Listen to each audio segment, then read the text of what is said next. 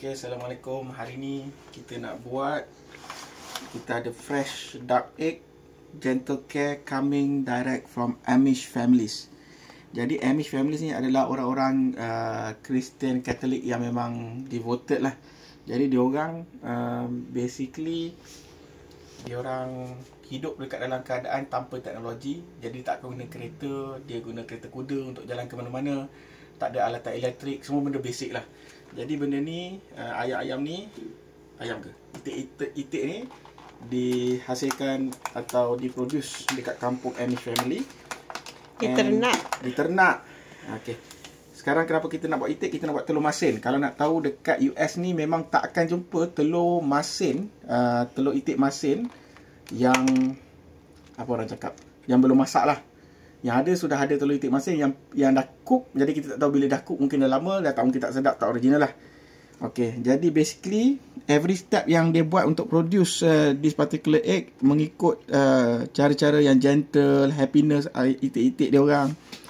Itik-itik dia basically they live a good life. Dia macam happy. Hmm, nama pun Sunshine Farm. Okay, sekarang saya nak buat ya, telur itik masin. Jadi first kali telur itik tu pastikan dia fresh eh. Fresh and dia apa orang cakap ah? Dia fresh dan masih elok eh. Jadi kita taruh kat sini. Satu. Dua. Tiga.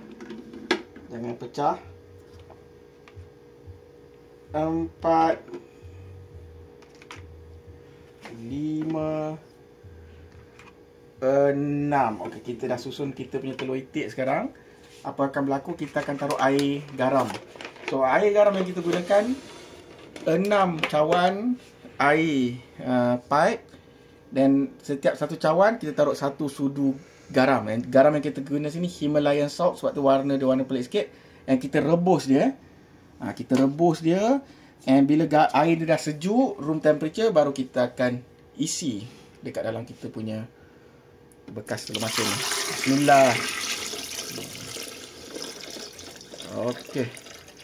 Apa akan terjadi kalau telur itik tu fresh lawa? Ha, dia akan nampak macam dia nak pergi naik ke atas lah. Nampak tu? Ha, jadi bila telur itik tu naik dia akan naik ke atas ni bila dia jatuh barulah maksudnya kita punya sudah siap. Okey kita tahu semua sekali lah. Ha, tengok Himalayan salt okey kita akan tutup dan kita akan biarkan berapa lama eh? Dalam seminggu dua minggu nampak dia punya telur dah lawa cantik barulah kita akan masak dia. Rebus telur masin di New York City. Assalamualaikum.